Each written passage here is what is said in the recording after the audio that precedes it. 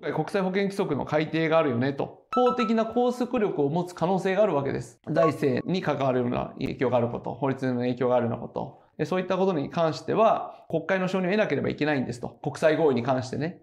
けれども、政府の回答は、もう WHO 検証を1951年ですよ。